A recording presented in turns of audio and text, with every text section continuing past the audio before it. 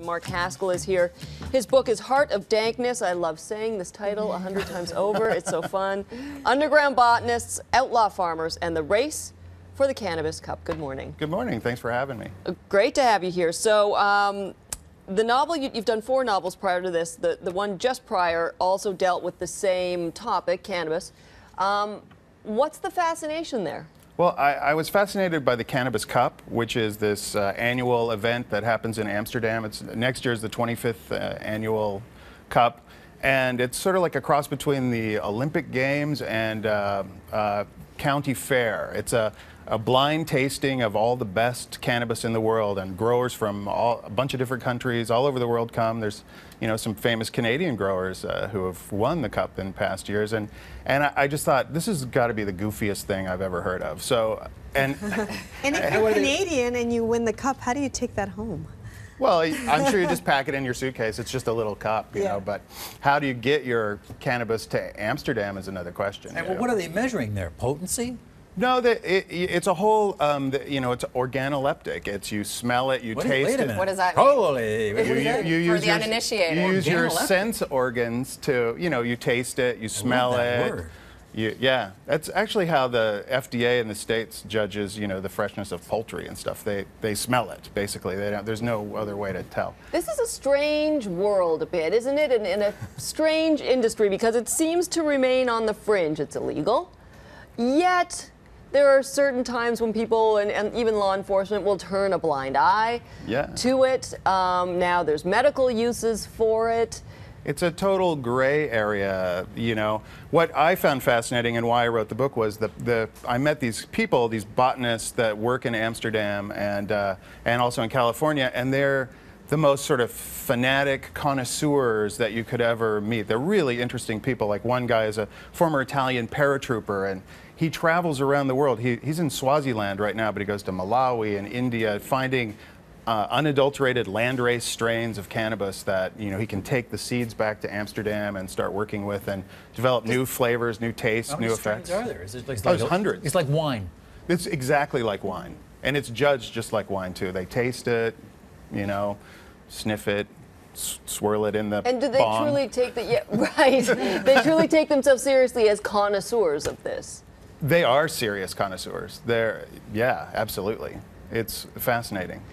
In California, it, it, it, also makes up like a huge, the, the amount of money spent and that's moving through the California economy is pretty staggering. It's the, the University of California uh, Agriculture Studies Department did a survey and they found it's the largest cash crop in California by far. Is cannabis. Cannabis, yeah. And it's actually the largest cash crop in the United States, more than corn or wheat.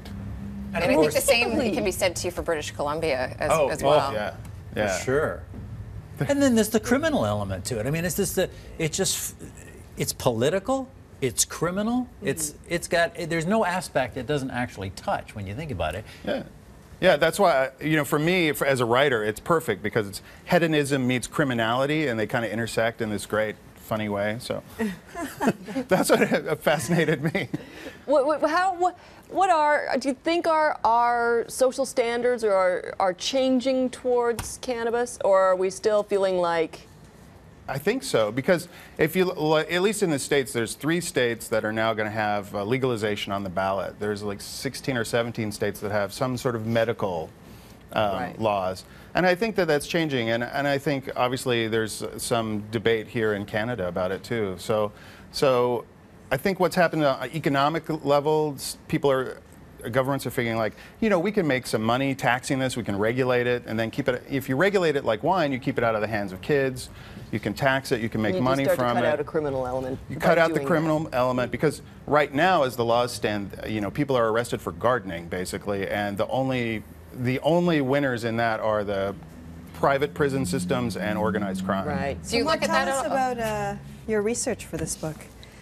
Well, I, I, it was grueling, grueling research. Um, what I can are remember. You, are you sampling? yeah, yeah, absolutely. Because yes. I wasn't a connoisseur at all of mm. cannabis. So uh, when I started meeting these people, I, part of the fun of, of, the book is me learning how to taste it and how to, mm.